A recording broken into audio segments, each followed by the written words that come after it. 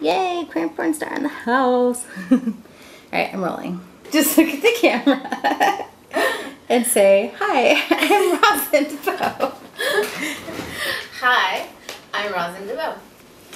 What makes me queer is a lot of things.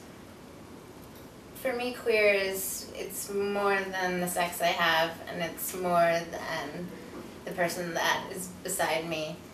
Um, it's it's the way I live my life. I'm femme identified, um, which I believe to be very based in queerness and the queer lifestyle, and and I think that's that's pretty much my definition of being queer is being femme. Um, it's a really invisible place to be, and being queer is an outlier.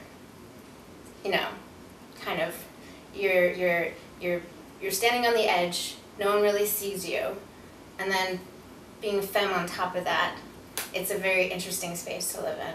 So, I I wear it proudly. I got into queer porn very, very long time ago.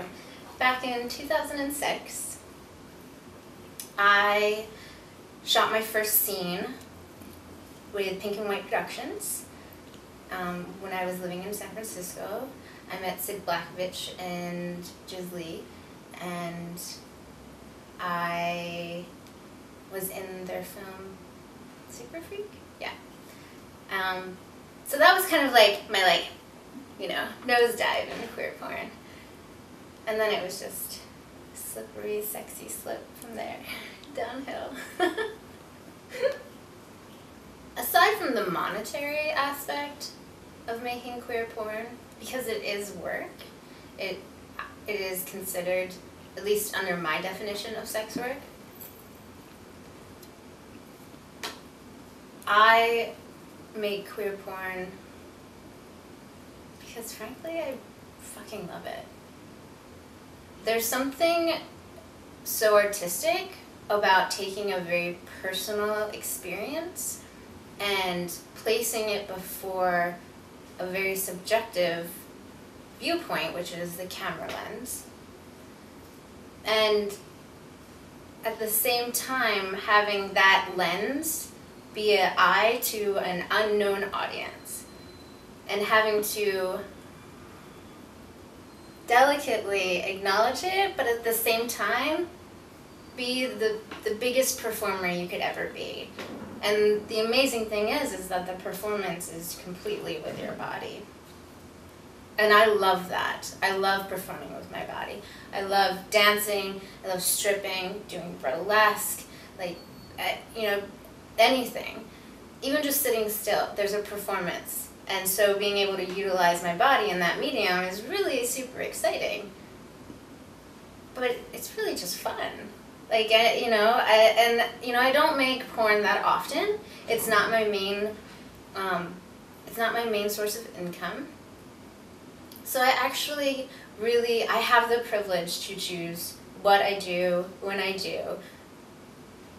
I don't necessarily always have the benefit of choosing who I do, but so far who I do or have done has been awesome, so I'm not terribly, I'm not voicing any you know, objections. So I'm just, I'm really grateful and I feel really lucky that I can choose to do queer porn. And that choice is mine, and that choice is very much based in the fact that I love it. Awesome. You totally helped build it, so it's great that you love it. The most amazing thing is it's, it's brought me my best friends.